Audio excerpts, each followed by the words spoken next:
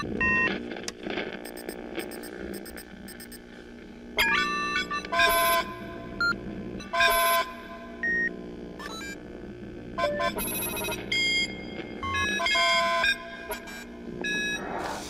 alaykum. Uh, men malik qurbonov uh, asosan axborot xavfsizligi it security sohasida ishlayman. Uh, juda ko'p o'quvchilar chiqarganman turli xil yo'nalishda. Bu 3d grafika animatsiya bundan tashqari sayt tayyorlash turli xil e, va asosan e, pentesting mavzusida ham. Demak e, bugungi bo'ladigan seminarimizni birinchi qismi davomiy bo'ladigan kursimizni demak birinchi qismi bugungisi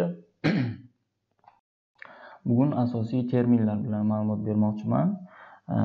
Ozgina praktik ham praktikaga ham bo'ladi va eng ko'p beriladigan savollarga ham javoblar beraman. Demak e, boshlaymiz. Bu birinchi bizaga ko'pchilik e, savol berishadi. E, seminarni demak savollar uchun vaqt beriladi.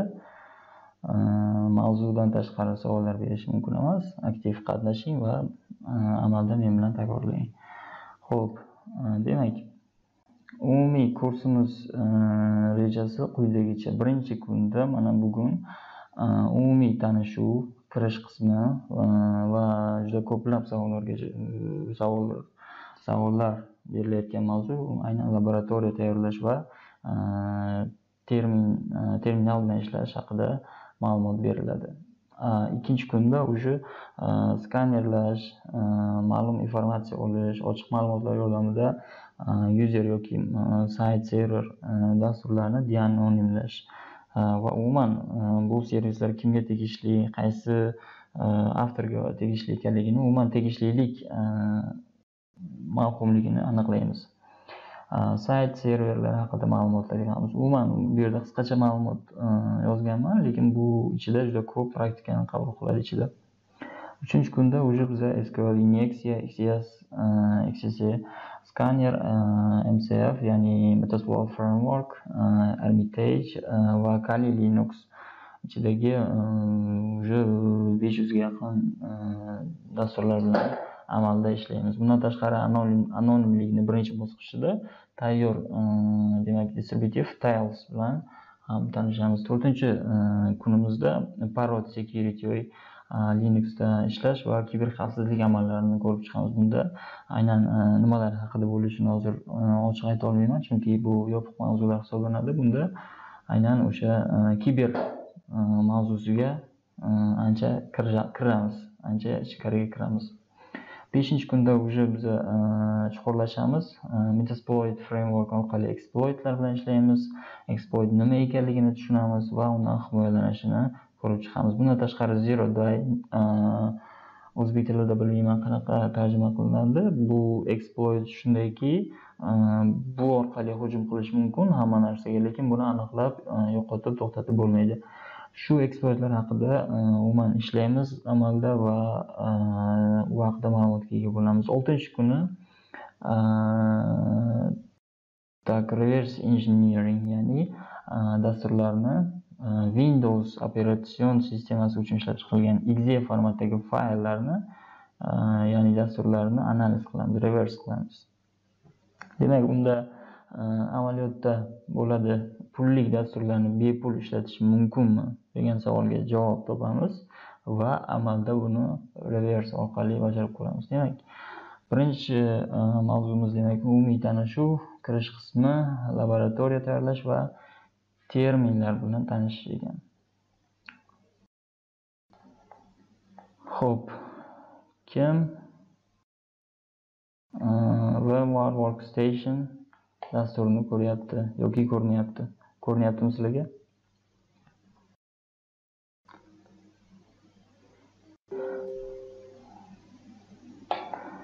ho'p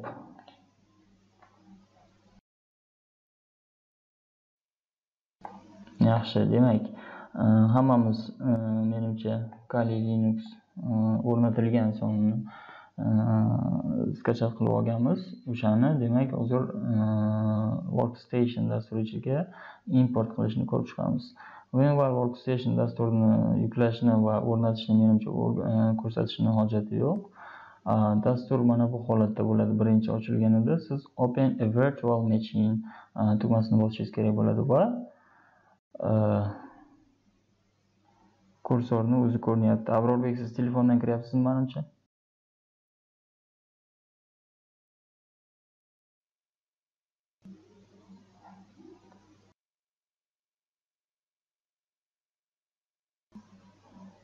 Abror telefondan kiryapsizmi?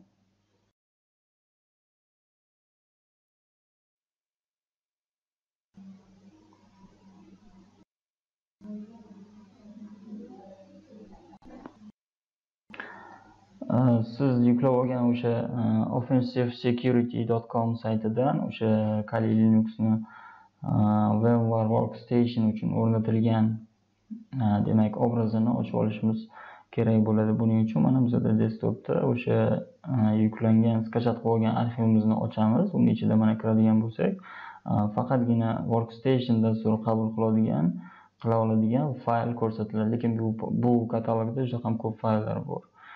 Lekin dastur o'ziga keragini ko'rsatadi xolos. Buni ikki marta bosish orqali o'sha dastur ichiga ochamiz tizim demak bizada mana bunaqa ko'rinishda default holatda bu offensive security o'zini o'rnatish jarayonida kiritgan sozlamalar bilan default holatda qolgan bo'ladi. Shuni настройкасini o'zgartirishimiz kerak bo'ladi. Edit virtual machine settings orqali. Ho'p demak bu yerda asosiy e'tibor berishimiz kerak bo'ladigan e, parametr quyidagilar ya'ni так tezkor xotirani berishimiz kerak bo'ladi.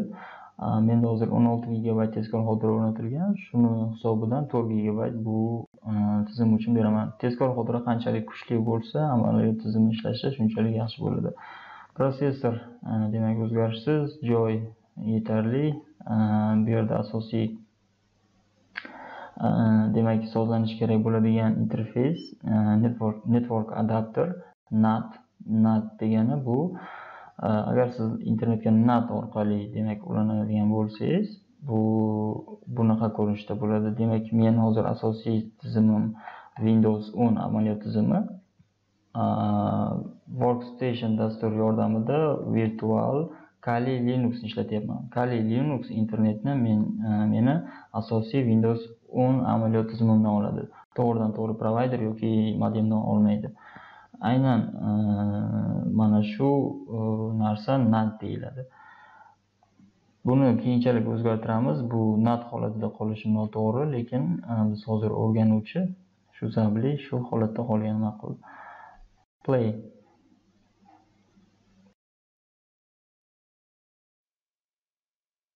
Demak hozir kali linuxni o'zini ishga tushiryapmiz xo'sh sizlarga ko'rinishi yaxshi bo'lishi uchun hozir men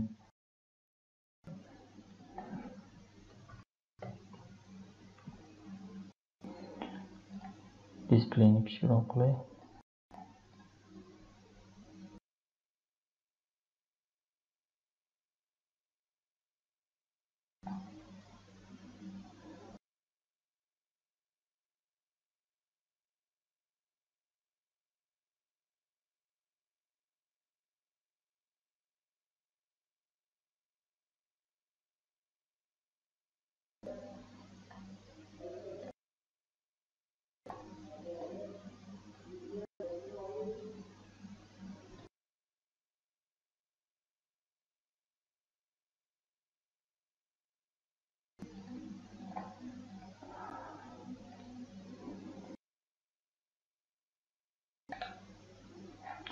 Xo'p, hammada brauzer ko'rinyaptimi?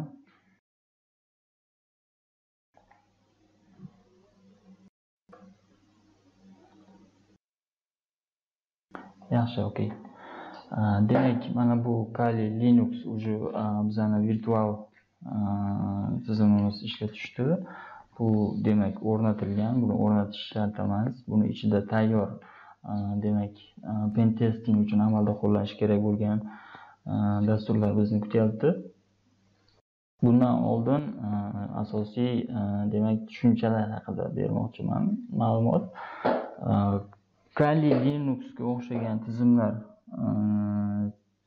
buni demak sifati va boshqa bir yo'nalishlar bilan solishtirganda buni bosqichidagi amaliyot tizimlari juda kam misol uchun tenglashtirish mumkin faqatgina bitta parrot security osni boshqa e, demak distributivlar ham bor lekin aynan bunchalik universal emas. Chunki e, kali linuxda e, faqatgina parrot security os bilan ikkalovini farqi parrot security osda demak anonimlikni ta'minlash uchun qo'shimcha modullar bor. Parrot security haqida parrotsec.org saytida ko'rishimiz mumkin.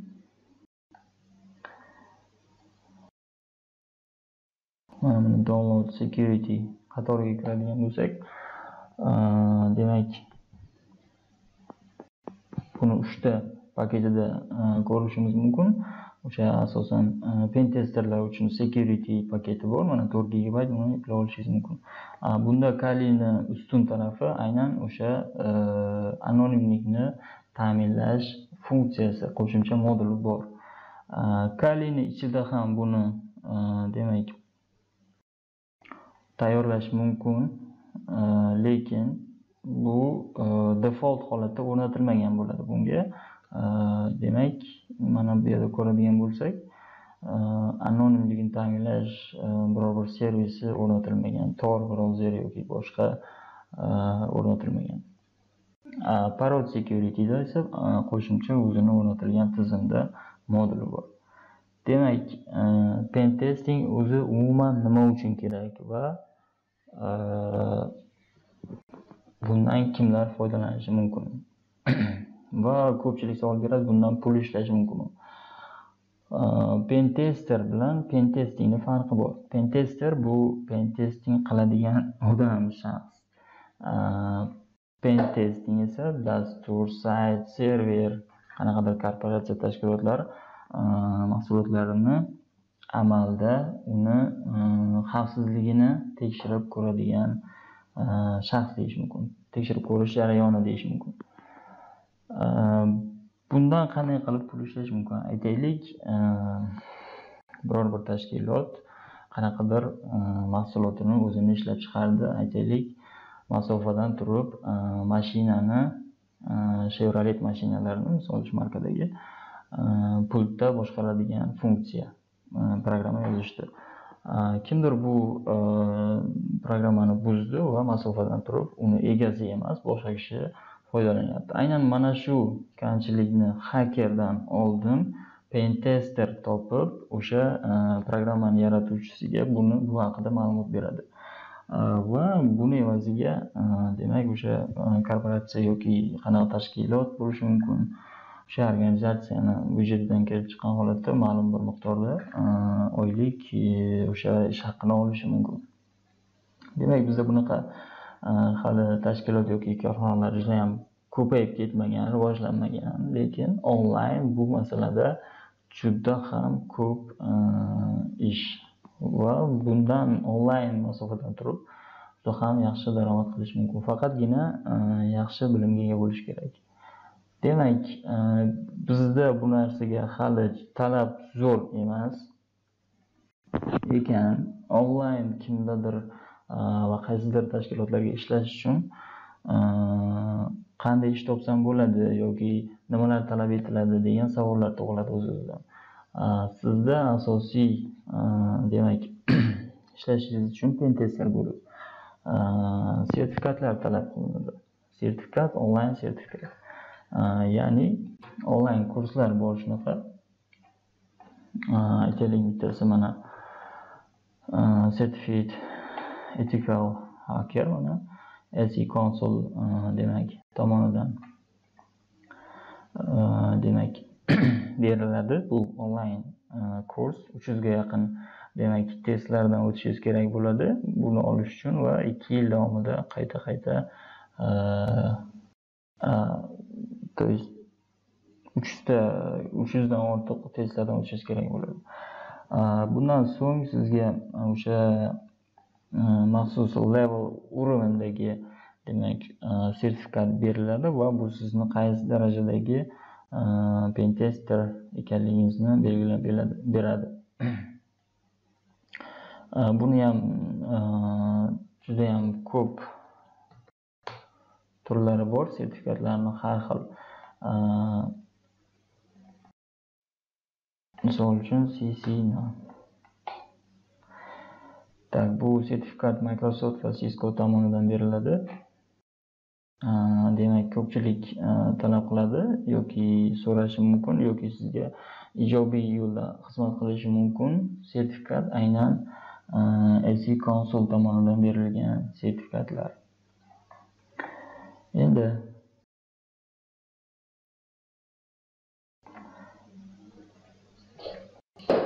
demak e, qo'shimcha yana e, qo'shimchalar bor terminlar bor. E, black hat va white hat yoki pentester bilan hakerni unaqada qanaqa farqi bor degan savollar tug'iladi. Pentester bu qaysidir ma'noda o'sha sayt server yoki dasturga dostup bo'ladi unda. Misol uchun o'sha tashkilot mana mani dasturim mana shu koddan tashkil topgan. Shuni xavfsizligini tekshirib ber deyiladi. Hakerda esa bunaqa e, kodga e, dostуп bo'lmaydi. E, u to'g'ridan to'g'ri buzadi xolos. Pentester bu kodlarni o'rganib chiqadi. Servisni to'laligicha skanerlash informatsiya yig'ish kim nima qayerda degan savollarga javob topadi. Va ishini oxirida demak report ya'ni o'zbek tilida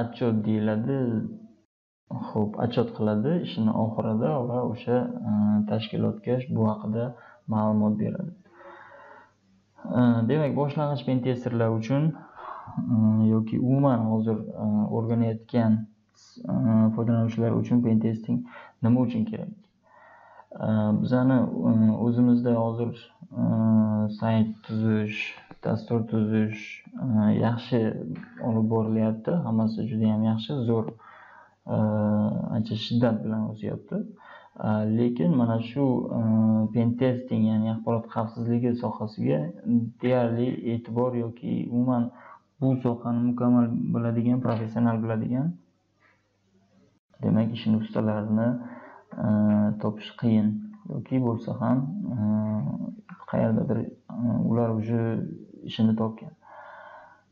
Demak siz eng oddiy so'z bilan aytganda kursni tugatib e, xohlagan biror bir saytingizni o'zingiz tekshirasiz kamchiligini topasiz aytaylik adminga yozasiz. Salom admin. Mana shu saytingda shunaqa kamchilik topdim. Sanga shuni tuzatishda yordam berishim mumkin xizmat haqim mana bunaqa bo'ladi deb aniq aytib berishingiz mumkin.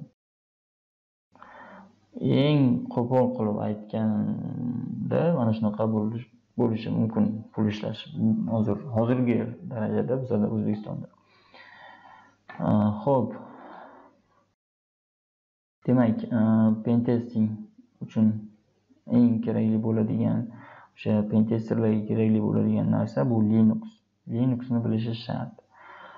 Ko'pchilik savol beradi. Hakerlar haker bo'lish uchun. Umuman bu haker so'zi крутой so'z bo'lgani bilan buni ham alohida o'zini e, demak e, javobgarligi mas'uliyati va e, buni ortida ko'p narsa yotadi haker bo'lish uchun yoki pentester bo'lish uchun asosan biror bir dasturlashtirishni bilish kerakmi deyiladi. Oddiy pentester uchun dasturlashtirish kerak emas. Sodda qilib aytganda lekin bilishi kerak sql tilini php ozgina va hozir уже eng yangi zamonaviy tillardan biri pitonni o'rganishi shart deb hisoblayman. Xohlasangiz pitonni o'zini o'rganing sizga shu ham yetarli. Demak bundan tashqari linuxni aytdim. Linux amaliyot tizimida ishlashni yuz foiz o'rganganingiz bu sizni уже ancha boshqalardan o'tib ketganligingizni bildiradi chunki bizda kompyuterimiz tug'ilganimizdan faqat Windows OS bilan ishlaymiz. Linux nimaligini ko'pchilik bilmaydi Lekin yaqinda 2019-yilmi yoki 2020-yil boshidami o'sha davlat organlari Linux amaliyot tizimida ishlash ishlashi haqida qaror chiqdi. Manimcha bu xavfsizlik jihatidan albatta o'ylab qilindi. Juda ham man xursand bo'ldim. Lekin faqat ularni endi Linux bilan ishlashga o'rgatish qoldi. Chunki ular hozir faqatgina adashmasam Ubuntu tizimida fayl menejer bilan ishlash ishlashadi xolos. Unda ham o'sha Wordda ishlashadi. va hokazo. Umuman e, bizga kerakli bo'ladigan asosiy bizani e, qurolimiz, aytaylik o'sha tilida qurolimiz, bizani avtomatimiz bu Kali Linux va Parrot Security OS. Demak, biza e, kursimizni asosiy katta qismini terminal bilan ishlashda o'tkazamiz va terminal mana bu ko'rinishda bo'ladi.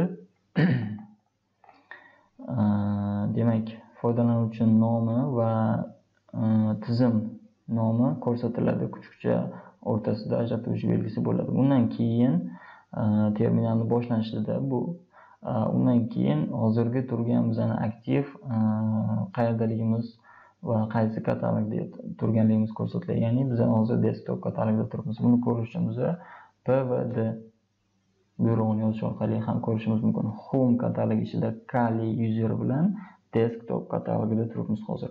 ls buyrug'i orqali Э, demak desktop ya'ni ish stolimizda mavjud bo'lgan fayllarni ko'rishimiz mumkin. Bizda hozir mana e, demak mana shu bitta screencast mp4 video fayli bor xolos.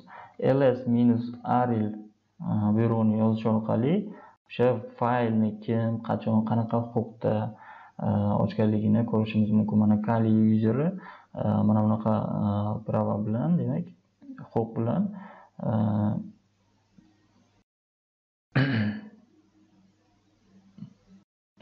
demak 12 martda 13:30 da yozilgan va tayyorlangan.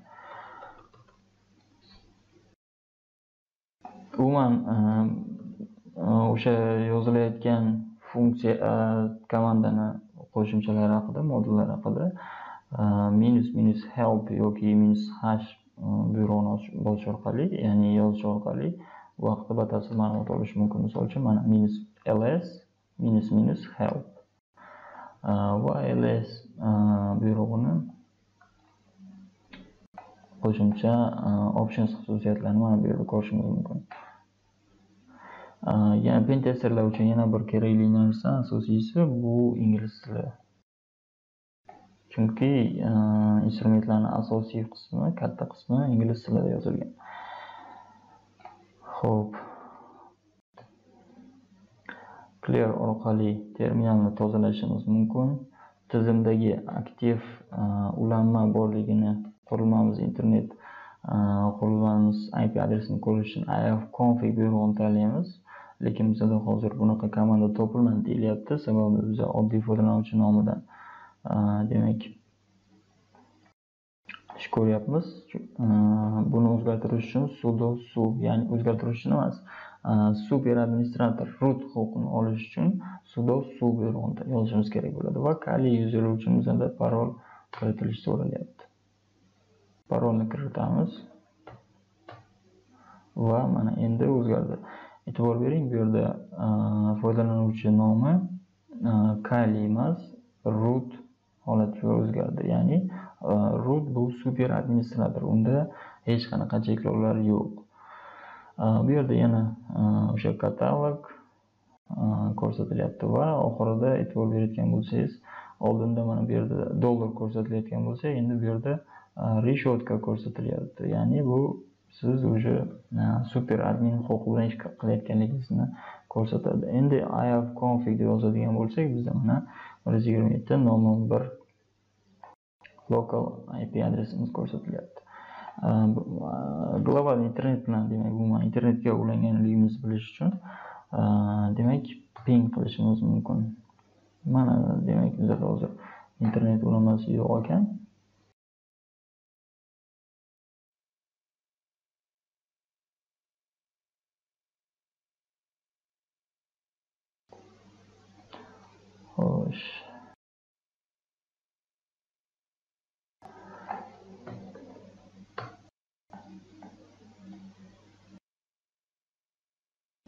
Tizim sizda e, o'rnatilgandan keyin siz misol uchun e, kompyuteringiz konfiguratsiyasidan kelib chiqib e, buni virtual mashinada ishlatishingiz mumkin yoki asosiy tizim sifatida ishlatishingiz mumkin. Shunday holatda siz tizimni bexato ishlashi uchun birinchi qiladigan ishingiz tizimni yangilashingiz kerak bo'ladi. Bu qanday bo'ladi? Apt-get update. Va bundan so'ng yuklangandan so'ng apt-get dist distributive upgrade. Yuklangan fayllarni distributive upgrade qilish kerak yangilanishi kerak. Mana shu ikkita buyruq yordamida tizim oxirgiga berilgan yangiliklarga o'rnatiladi va keyingi kiritiladigan buyruq yoki qo'shadigan skriptlarimiz bexato ishlashini ta'minlaydi. Demak hozir bu e, ikkala buyruqni men hozir chatda yozaman. Buni o'zizga ko'chirib olishingiz mumkin. Chatda yozganim hozir bu ikkala e, buyruqni bir martada ishlatish o'rtasida ikkita and e, belgisi bor. Ho'p eshitilyaptimi sizlarda ovoz? Takrorlayman hozir biz linux mintni o'rnatamiz va uni xavfsizligini amalda tekshiramiz. Yoki shodan orqali skaner orqali internetda ochiq bunaqa tekshirilishi mumkin bo'lgan kompyuterlar tiqilyapti shularni ham ko'rishimiz mumkin. Umuman ko'ramiz hozir o'sha praktika davomida.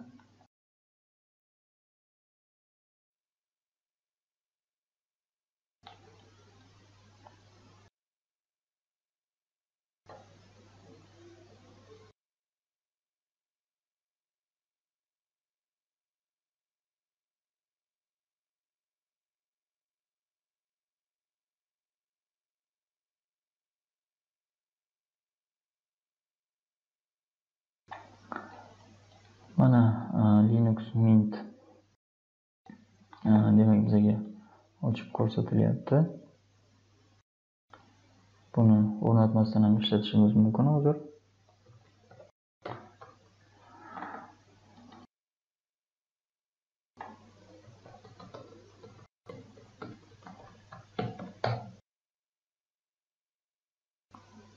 ping bor internet ulangan demak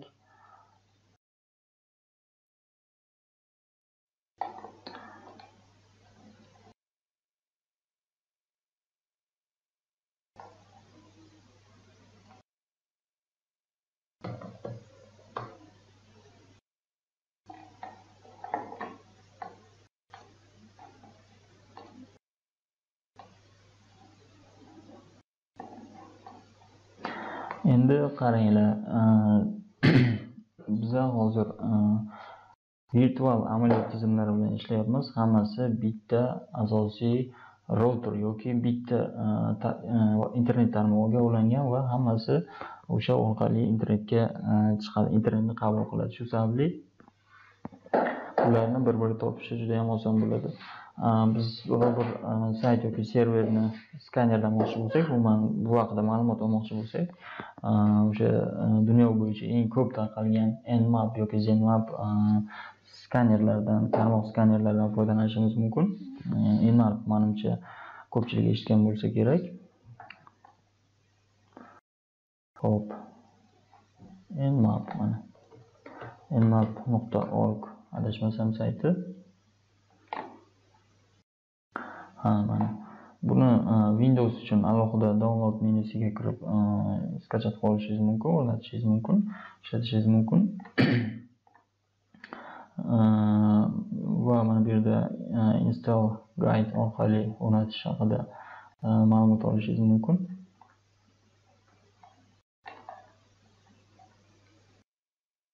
Nmap version demak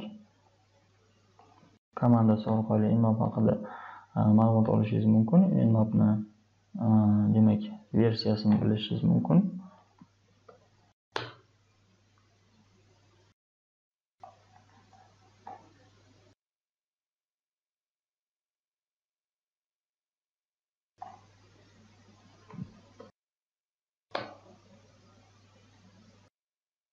Так sizlarga ko'rinyaptimi eshitilyaptimi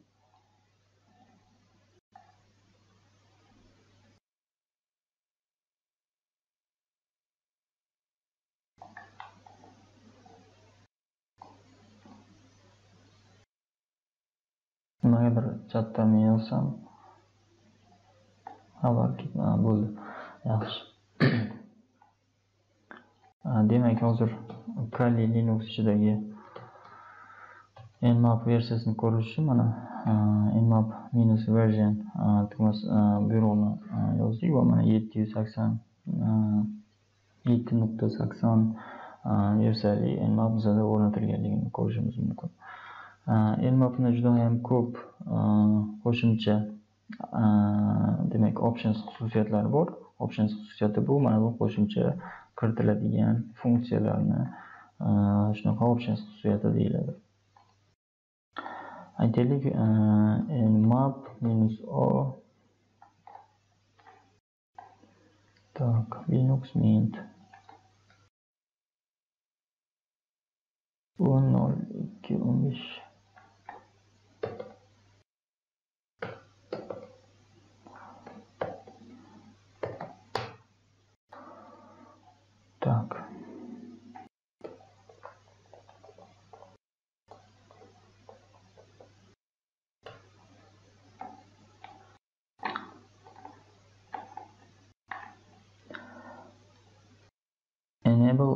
detection ya'ni o'sha skanerlanayotgan e, tizimni e,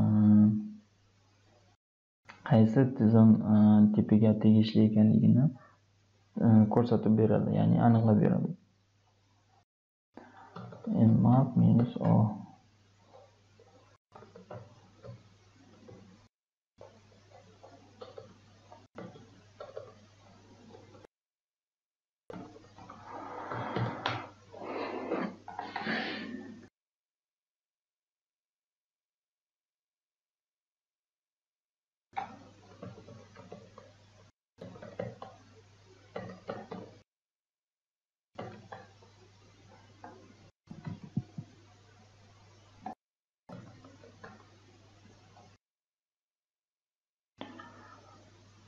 information gathering qatorida kategoriyasida bizada o'sha skanerlar va umuman veb dasturlar umuman tarmog'idagi ma'lumot olish uchun kerakli bo'ladigan demak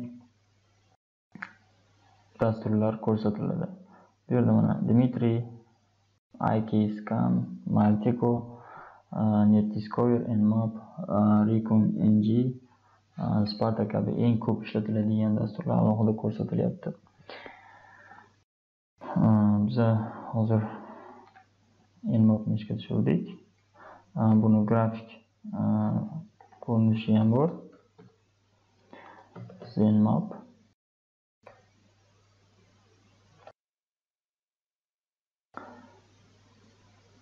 Grafik ko'rinishi agar o'rnatilgan bo'lsa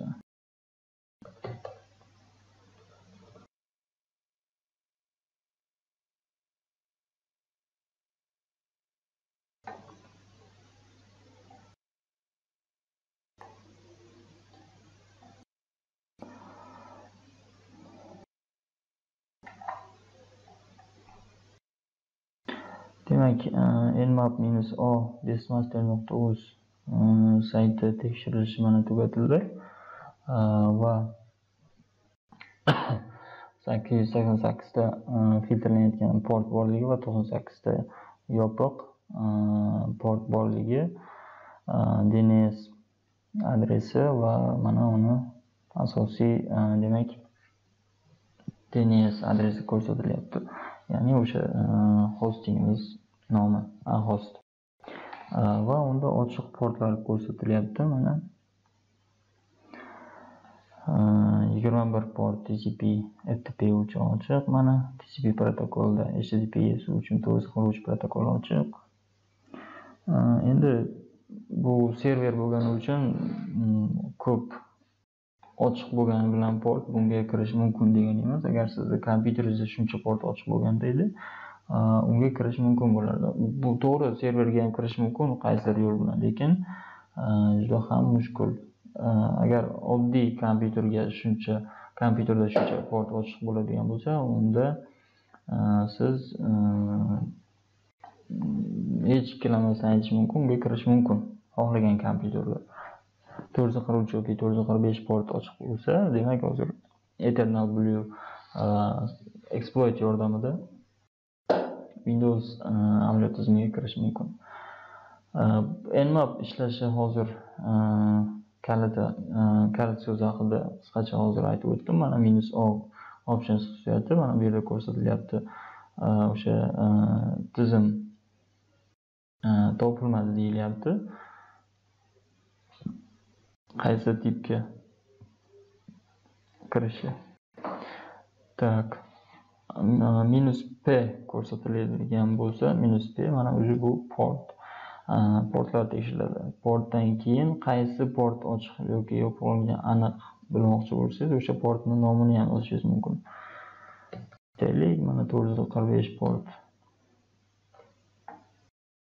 To'rt yuz qirq besh port filtered microsoft ds aytaylik yigirma portidan toki to'rt yuz qirq beshgacha bo'lgan oraliqdagi portlarni hammasini tekshirishni e, bunga e, quyidagicha so'rov orqali berishimiz mumkin. O'rtasida minus bo'ladigan bo'lsa portlar orasida. Bu e, boshlang'ich mana shu port raqamidan toki mana shu port raqamigacha bo'lgan o'rtadagi masofani masofadagi o'rtadagi portlarni hammasini skaner qiladi. Va o'sha ochiq yoki yopiqligi haqida demak ma'lumot beradi qo'shimcha yana bu sv degan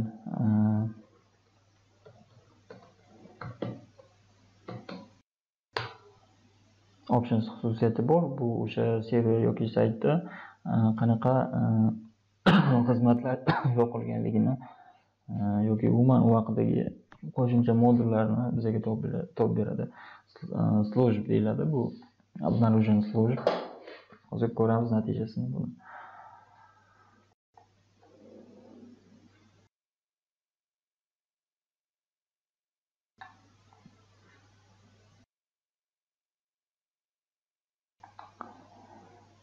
ho'p e'tibor bering bu yerda uh, nmap orqali biz aniq bir uh, ip yoki uh, ip adres yoki server saytini ko'rsatib skanerlab olishimiz mumkin. Shunaqa veb skanerlar borki bular orqali butun dunyo bo'yicha kompyuterlar yoki demak ma'lum port ochiq portli dunyo bo'yicha barcha kompyuterlarni skanerlab berish demak funksiyalarga ega veb demak skanerlar bor. Bular mana bulardan biri. Shodan io degan sayt.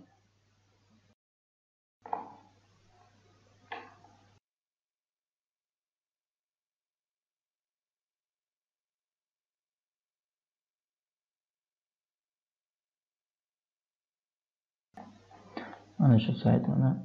Bu e, demak internetga ulangan har bir e, qurilma aytaylik. U e, sayt bo'lishi mumkin server bo'lishi mumkin veb dastur bo'lishi mumkin. Hammasi demak skanerlanadi va buni shodan bazasiga kiritiladi. Bunda mana registratsiya o'tish ro'yxatdan o'tish kerak va ro'yxatdan o'tgandan so'ng asosiy qo'shimcha funksiyalar bizga ochiladi. Hozir e,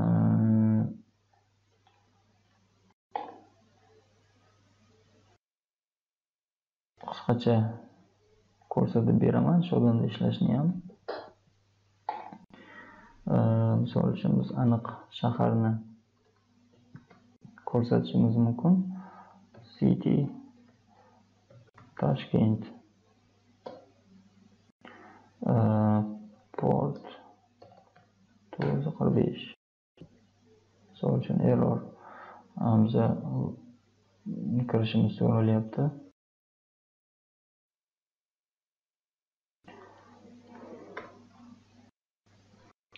demak funksiyalar ochiladi.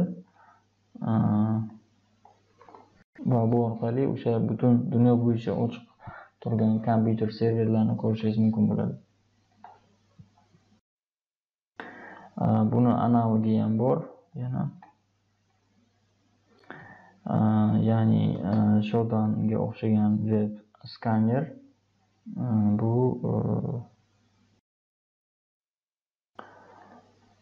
так siz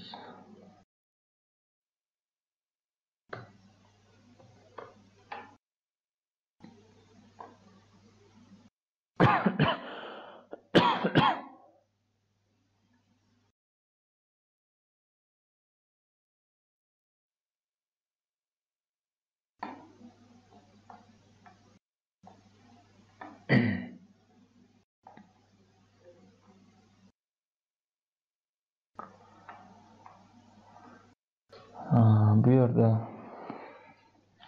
sholdanga nisbatan ancha kengaytirilgan skanerlash imkoniyati bor bu yerda demak demosonni ko'rishimiz mumkin.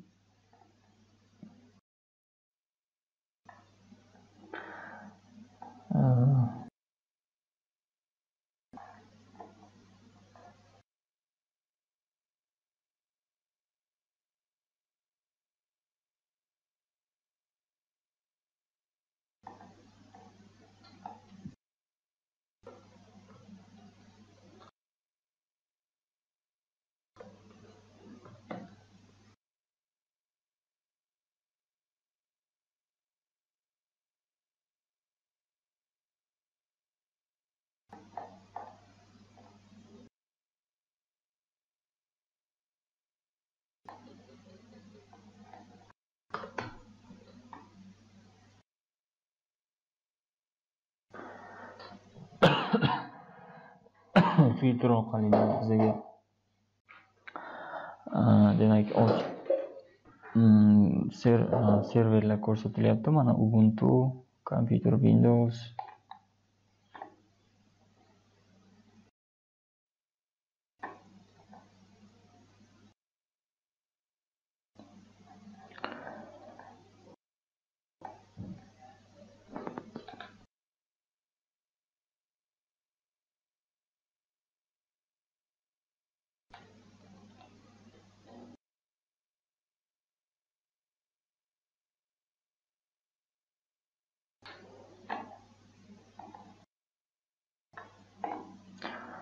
endi e'tibor bering mana bu yerda e, tak skanerlashni to'xtatamiz. Kontrol z tugmasini bosish orqali e, bu yerda e'tibor bering. E, Kencs yordamida ip adres ip adres yozish orqali u haqida batafsil informatsiya olishimiz mumkin. Demak serverimiz ip adresini nusxalab olamiz.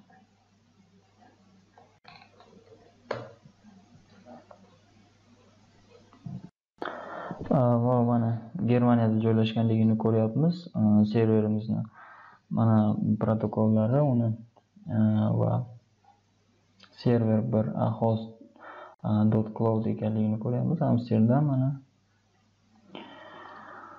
Ho'p nginx server. Status active recuse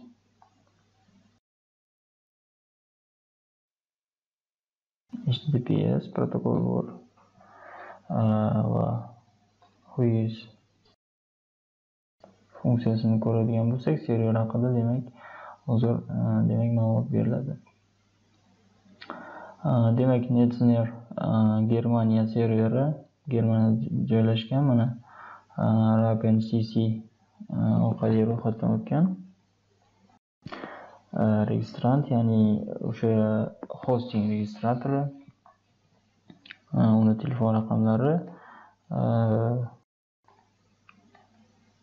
adreslari ko'rsatilyapti mana bu yerda demak umuman besmasel nuqta uz sayti serveri demak germaniyada joylashganligini bilib olishimiz mumkin bundan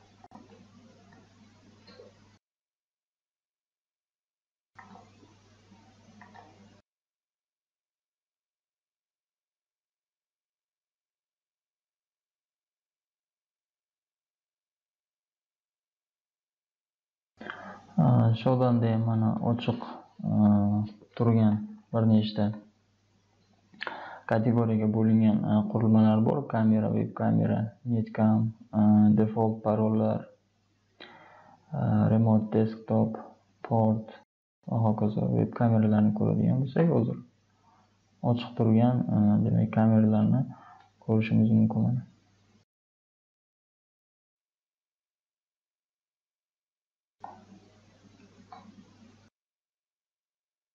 Mana fransiyada joylashgan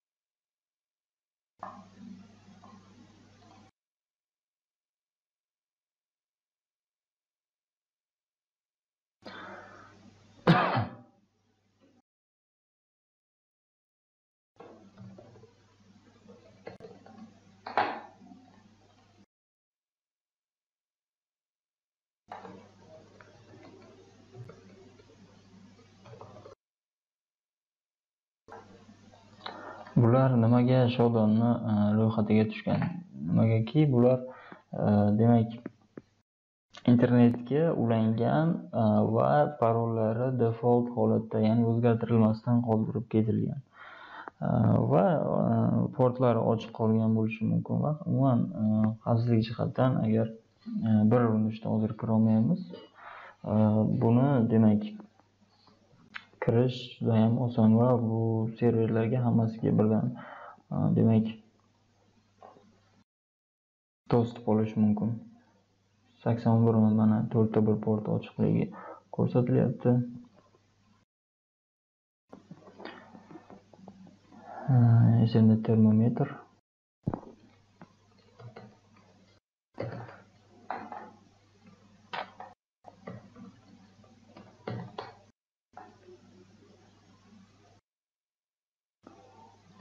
demak user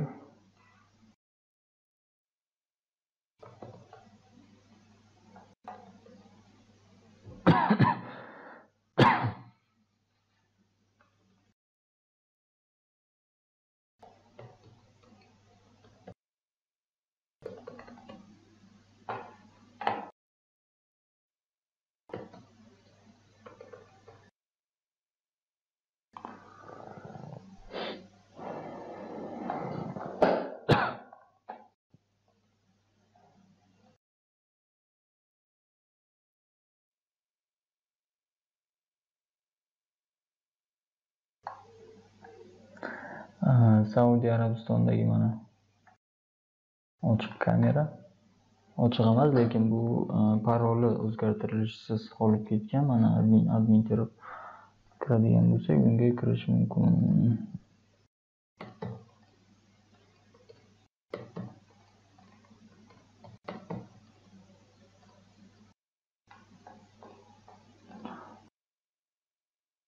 Yo'q kirmadi.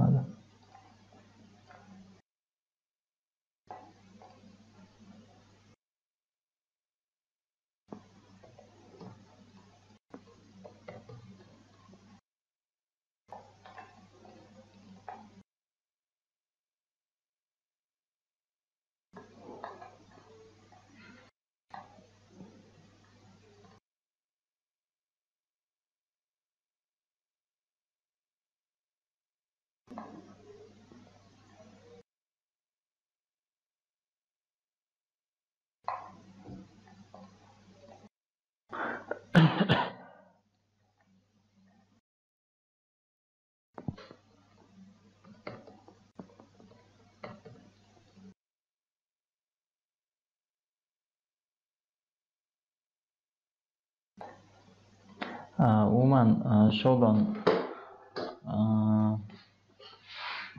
internetga ulangan qurilmalarni o'zgarishsiz holatda qolgan parollari va ochiq qolgan portlar va umuman yangilanmagan fayl firmware demak yangilanish o'rnatilmagan qurilmalarni bazasini aynan mana shu kategoriyalar bo'yicha ko'rsatadi. Endi hozir biz e, ro'yxatdan o'tmaganmiz. E, shu sababli ancha funksiyalar to'xtatilyapti ko'rsatilyapti. Bu yerda monitor e, mavjud. Butun dunyo bo'yicha grafikni ko'rishimiz mumkin. Qaysi davlatda qancha port yoki kameralar ochiq holatda turganligini. Umuman shoudan haqida to'liq informatsiya keyingi etaplarda beriladi. Hozir shunchaki aytib o'tmoqchi edim. Nmapni web interfeyslar analog ko'rinishi aynan shundan iborat aynan shu shoudan io domenida ko'rishimiz mumkin buni analogi kensis nuqta io. Bu ham ip adres yoki boshqa ip adresni bilish yoki boshqa ma'lumotni bilish orqali o'sha demak resurs haqida informatsiya ko'proq yig'ib beradi bizga aynan bizga kali linux o'rnatish va uni ichida nmapni ochish imkoni bo'lmaganda demoqchiman aytaylik mana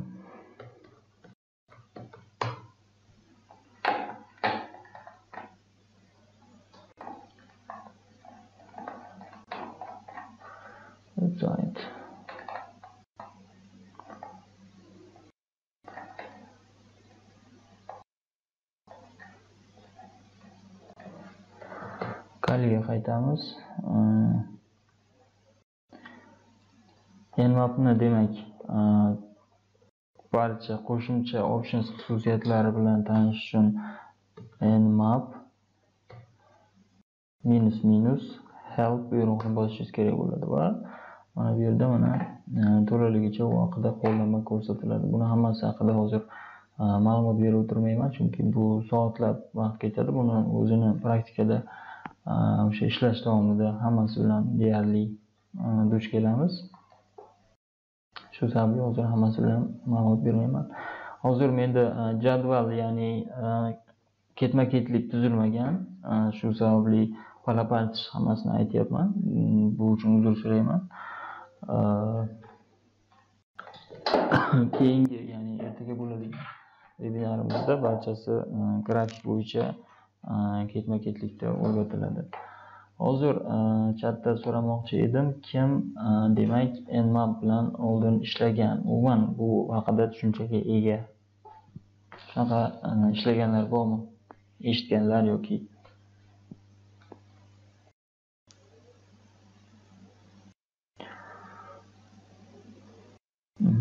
demak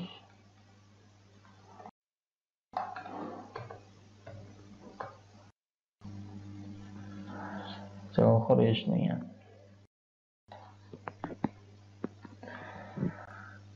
ho'p terminlar bilan tanishdik. Menimcha pentesting va pentester nimaligini farqini bilib oldingiz. Ehm, Kimdir savol berishi mumkin yana. Ehm, o'sha ehm, pentesting ya'ni umuman kiber xavfsizlik orqasidan qanaqa daromad qilish mumkin boya aytib o'tdim. O'sha onlayn server sayt yoki dasturlarni xavfsizligini tekshirib xakerdan oldin yoki kimdir uni buzishidan oldin siz aniqlaysiz va buni o'rniga buni oldini olasiz aksi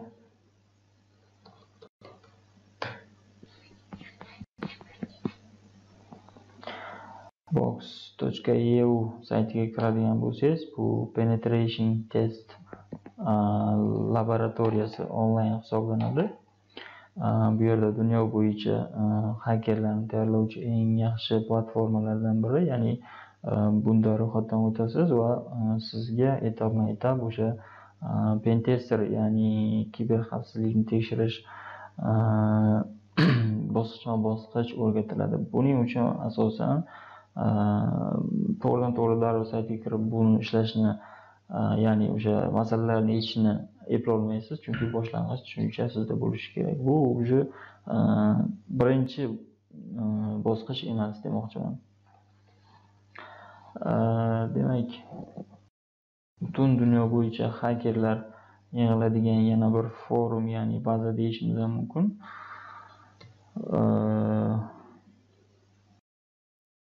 Hacker one. Bug bounty.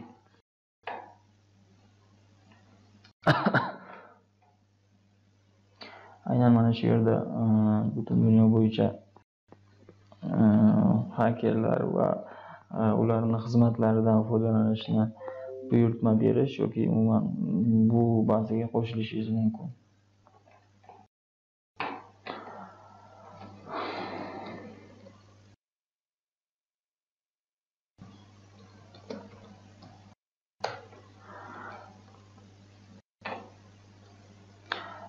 butun dunyo bo'yicha demak e, pentesterlar e, qanday narxda ishlashadi degan savolni javobini mana bu yerda e, umuman boshqa davlatlarda har xil bu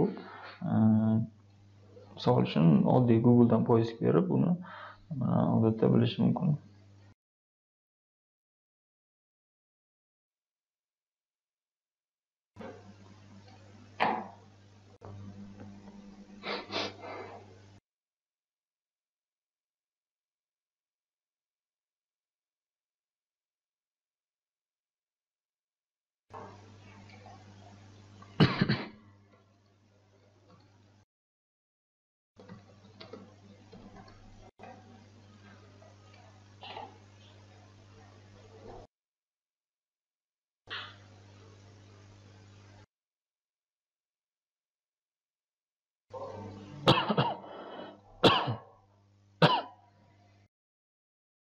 Yetti ming dollardan bir yuz o'ttiz to'rt ming dollargacha demak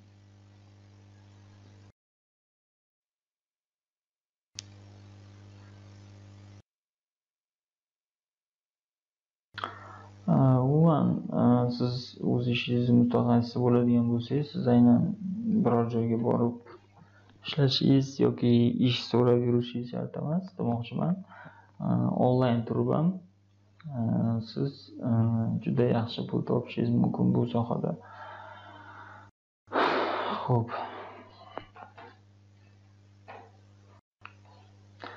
bugungi mavzumizda o'zi praktika berilmagan hech qanaqa hammasi nazariya bo'lishi kerak edi. Kimda savol bor? Laboratoriya tayyorlash bo'yicha.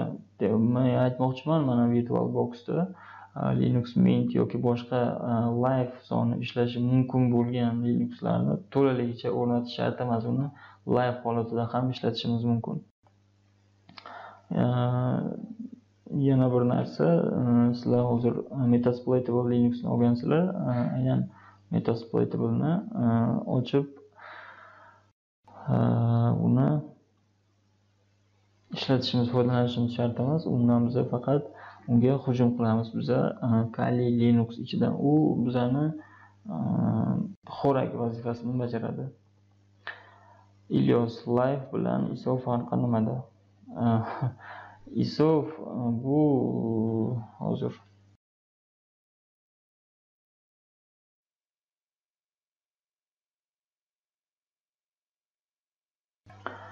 Mana ilyosbek qarang. Mana bu linux yoki windows amaliyot tizimlari menda bor va bularni hammasi iso fayl formatida. Iso degani bu fayl formati xolos. Disk image fayl mana ko'rsatilyapti. Live esa o'sha bu tizimga bog'liq narsa live linux bo'ladigan bo'lsa qaysidir misol uchun kadachi yoki kali bo'ladigan bo'lsa kalini live rejimi bormi deyiladi mana hozir sizga ishga tushirib ko'rsataman. Bu kalini o'rnatilmagan ya'ni obraz versiyasi emas. Buni diskka yoki usb fleshkaga yozib e, asosiy kompyuterda ishlatishingiz mumkin mana. Endi e'tibor bering kali bizga ishga tushdi va bu yerda live rejimi bor. Live rejim live rejim nima? Buni e, kompyuteringizga o'rnatmasdan turib ishlatish imkonini beradi. Siz hozir livega kirib mana ishlashingiz mumkin to'g'ridan to'g'ri ishchi stol ochiladi. Installga kiradigan bo'lsangiz o'rnatish boshlanadi tizimni. O'rnatib bo'lganingizdan keyin to'laligicha tizimdan foydalanishingiz mumkin. Livega kirib mana hozir o'rnatmasdan ham ishlatishingiz mumkin bo'ladi. Farqi shunda. Endi buni farqi ham deb bo'lmaydi. Ikkalasi ikkita narsa. Iso bu o'sha fayl obraz formati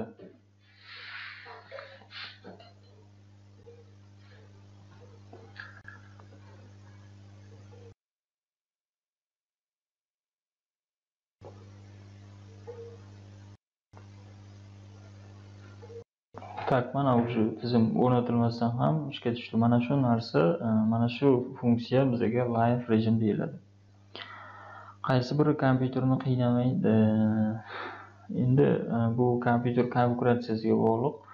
Siz agar doimiy pen testing bilan shug'ullanadigan bo'lsangiz buni kompyuteringizni o'sha kuchliroq qilib olishingizni maslahat beraman. Chunki biz уже keyingi darslarda ham ancha kirishib mukammal mukammal narsalar bilan ishlashni boshlaymiz bu kompyuteringiz ko'tarolmasligi mumkin va aytaylik besh daqiqalik ishni yarim soatda qilishi mumkin shu sababli siz asosiy e'tiborni o'sha kompyuterni o'zini tezligiga qaratishni so'radim agar sizda buni o'zgartirishni imkoniyati bo'lmasa byudjetingiz to'g'ri kelmasa unda siz linuxni o'sha asosiy kali linuxni asosiy tizim sifatida o'rnatishingiz maslahat beraman diskka yoki fleshkaga yozib uni rufus orqali mana rufus bu manimcha bilsangiz kerak rufus ea saytiga kirib mana skachat qilib olishingiz mumkin buni analoglari ham bor mana unit bot universal usb installer lekin Rufus ancha umuman oson ham ishlatilishi va sifatli.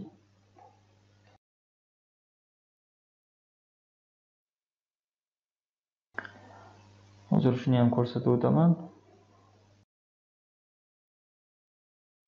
Mana rufus programmasini ishga tushirdik yuklab oldik va hozir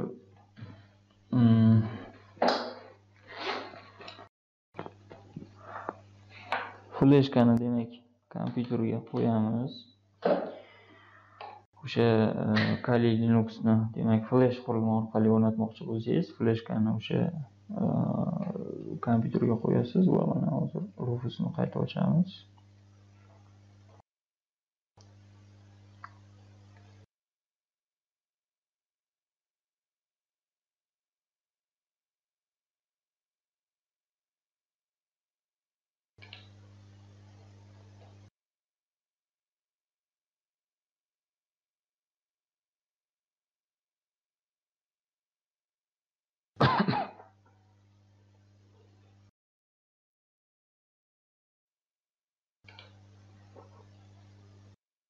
Э, mana.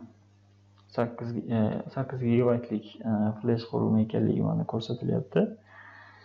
E, fleshkani qo'yganingizdan keyin o'sha fleshkani tanlaysiz mana bu yerda va e, disk iso image funksiyasini tanlaysiz va select buyrug'ini bosasiz. Va bu yerdan уже siz o'sha o'rnatilishi kerak bo'lgan kalini ko'rsatishingiz kerak bo'ladi. Live rejimini e'tibor bering. Siz o'rnatilgan virtual box yoki vmware workstation uchun o'rnatilgan faylni emas live sonini skachat qilib kerak bo'ladi select qilasiz mana ko'rsatilganidan so'ng partition scheme mbr bios uefi o'zgarishsiz holatda qoladi va show advanced format options qatorida mana buni olib tashlashingiz kerak bo'ladi undan qolsa ham farqi yo'q lekin olib tashlashingizni maslahat beraman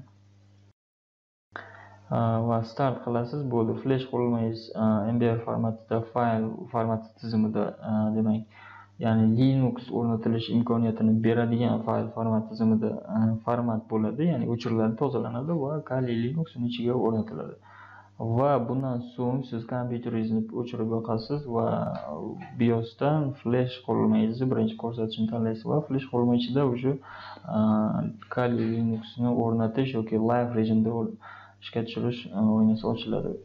E, Grup oynasi ochiladi grab загрузчиga o'sha e, yerdan o'rnatishni tanlaysiz va o'rnatasiz asosiy tizim sifatida shunda sizda o'sha kompyuteringizning to'la imkoniyatlari faqat kaliga beriladi. E, Nechalik fleshka ketadi demak bu o'sha mm, tizim hajmiga bog'liq. Misol uchun mana kali linux ikki yetmish to'rt uch gigabayt bo'ladigan bo'lsa sizga sakkiztalik fleshka kerak bo'ladi. Sakkiz gigabaytlik fleshka sizga kerak kamida. Rufus yordamida demak buni e, загрузочный fleshka demak tayyorlab olishingiz mumkin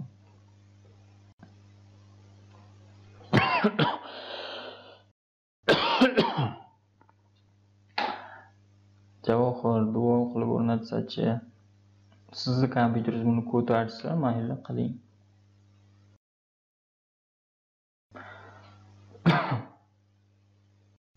Lekin e, ko'ra menimcha manimcha bu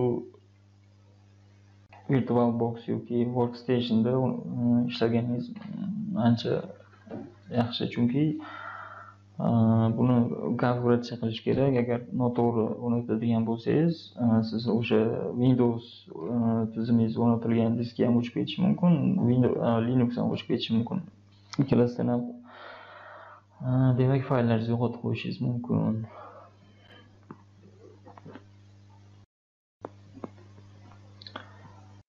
yana nima savollar bor boshlang'ich hamma savollarni hozir shu e, vebinarimizni shu qismida berishingizni so'rardim chunki ertaga e, man bu mavzularga qayta o'tmayman takrorlamayman shunchaki kali linux ochiladi va uni ichida praktikani boshlaymiz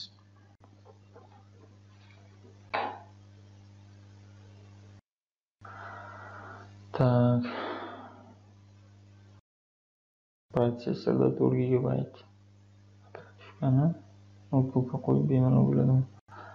Tushunmadim, sizda notebookmi yoki домашний kompyutermi?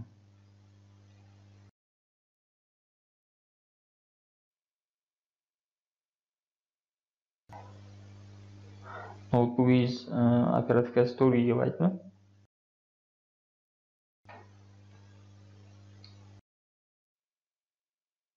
ikki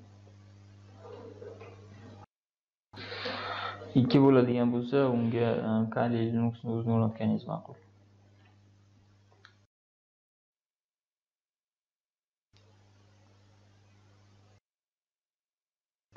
E, sizda protsessor ham bormi alohida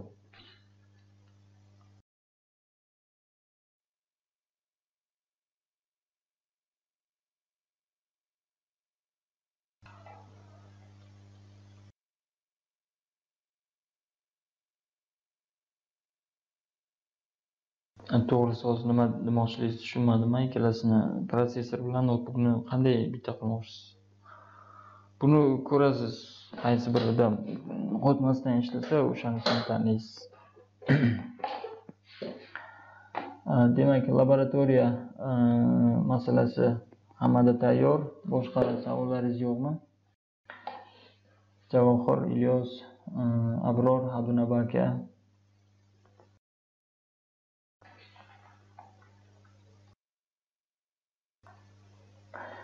root nima root bu mana siz e'tibor bering biz hozir root huquqida turibmiz buni o'rnida oddiy foydalanuvchi bo'lishi mumkin oddiy foydalanuvchi bilan rootni farqi rootda siz tizimda to'liq barcha huquqqa ega bo'lasiz oddiy foydalanuvchida esa bu huquq bo'lmaydi qandaydir cheklovlar bo'ladi.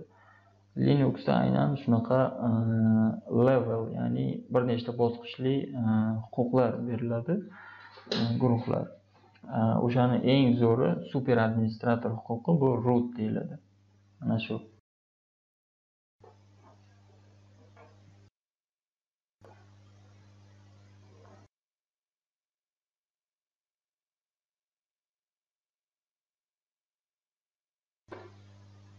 Tushunmadim. Terminal demoqchimisiz yoki terminmi? Termin bu ma'lum so'z haqida uni nimaligini tushuntirib berish o'sha termin haqida.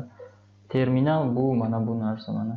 Linuxda asosiy qurol bu mana shu terminal hisoblanadi. Terminal mana shu. Mana hozir oddiy user nomidan kiryapti va dollar belgisi turibdi bu degani sizda to'la super administrator huquqi sizda yo'q degani. Qachonki sizda root yoki mana bu yerda reshetka belgisi turadigan bo'lsa sizda super administrator huquqi bo'ladi.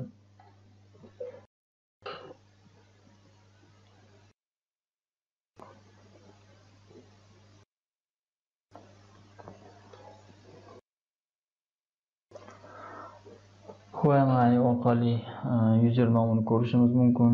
Uname-a orqali esa Linuxni tushunmadim Javohir.